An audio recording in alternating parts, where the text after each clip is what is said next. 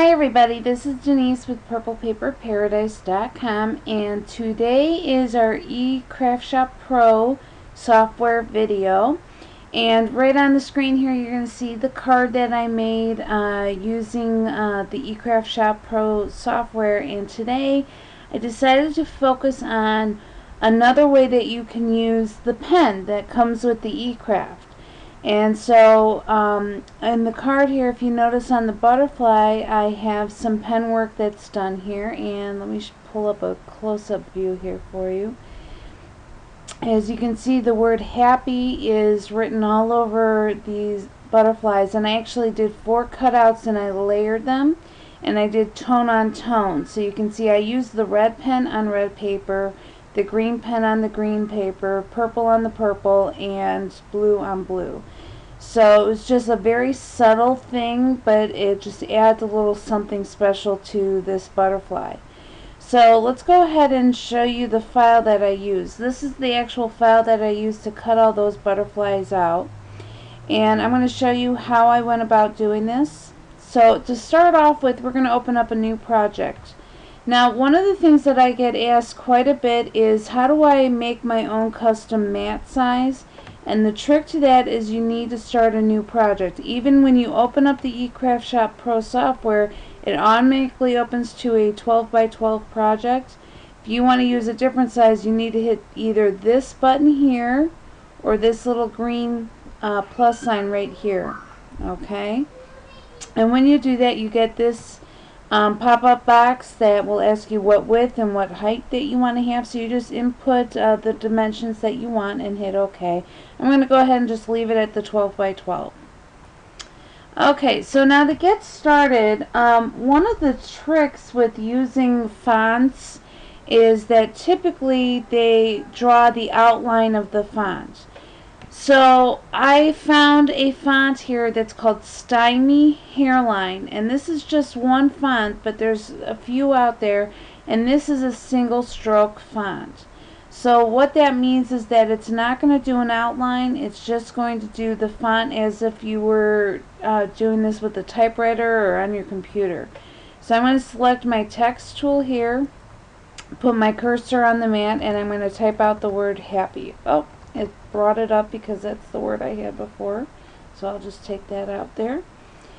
And so now you can see that I've got that on my mat. Now the first thing that I'm going to do is I'm going to resize it.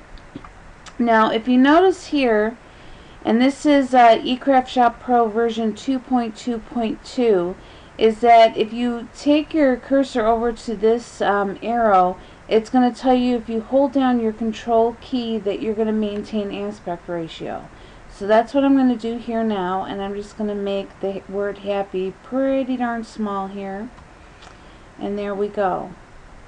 So now all that I'm going to do is I'm going to um, copy and paste the word happy. And I'm going to do this a few times to get a full row going.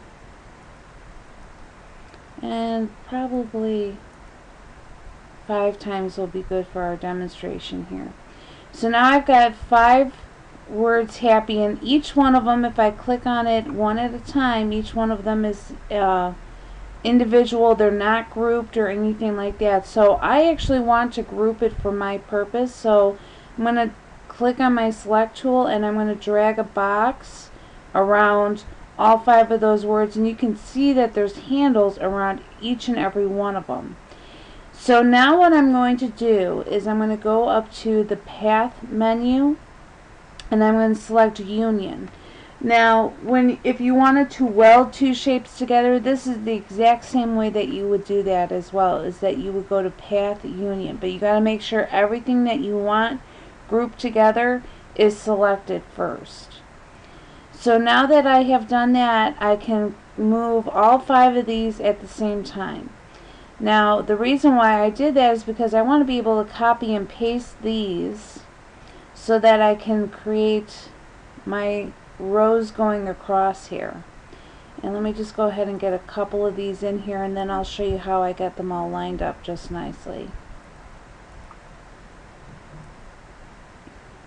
Okay, that's enough for now.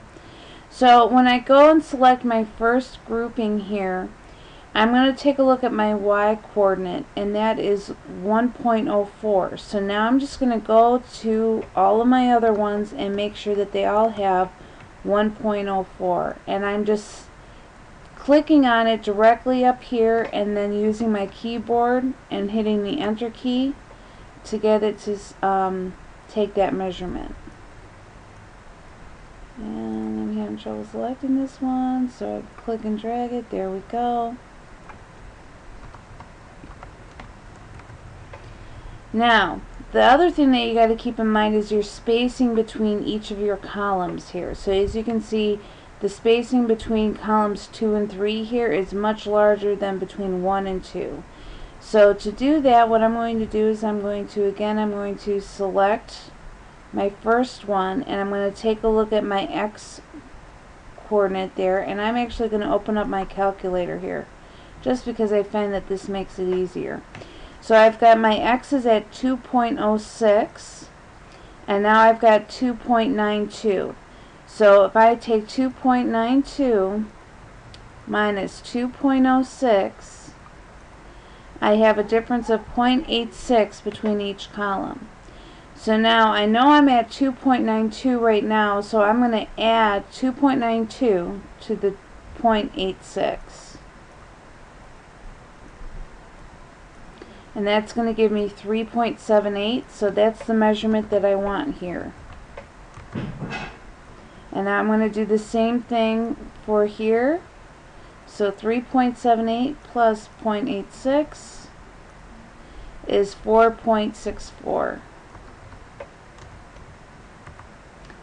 okay so now I have my grouping together.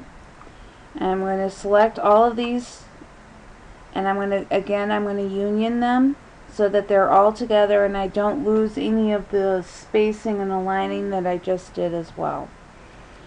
Now the very next thing that I'm going to do while I have these all selected is I'm going to select my draw line features so that they all turn to purple. And now I'm going to go ahead and I'm going to select an image that I want to cut this out of. And I use this butterfly from the Fundamentals 1 SD card. So we're going to go ahead and just use that again. And now I'm just going to place my butterfly in this.